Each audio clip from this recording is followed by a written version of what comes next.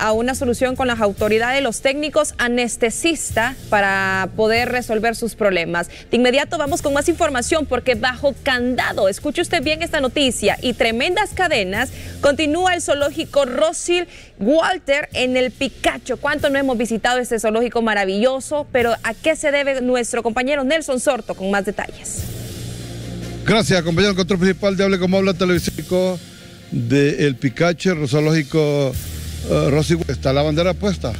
Están siempre con esta eh, toma, aunque están entrando y saliendo algunos eh, empleados del zoológico. Allá podemos ver algunos de los, eh, de los animales, de los pavos reales que hay acá en este zoológico y están esperando a ver qué respuesta les va a dar las autoridades de recursos naturales, la Secretaría de Recursos Naturales, el señor, el ingeniero Lucky Medina.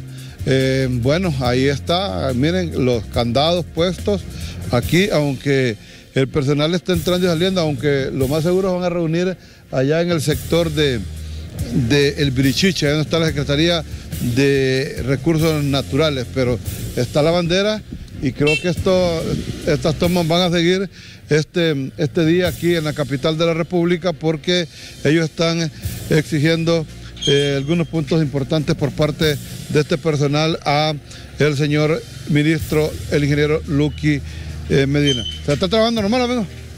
Sí.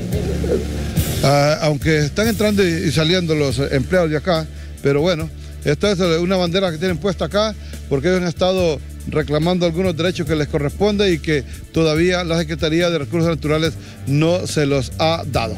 En nuestro contacto a esta hora de la mañana, junto a Alan Godoy, Gerson Ávila y don Marlon Barahona, retorno con ustedes. Gracias a nuestro compañero por esta importante información. Pero ¿qué pasó en la Superliga? Claro, nuestra compañera de los deportes, Noelia León, nos tiene todo el resumen.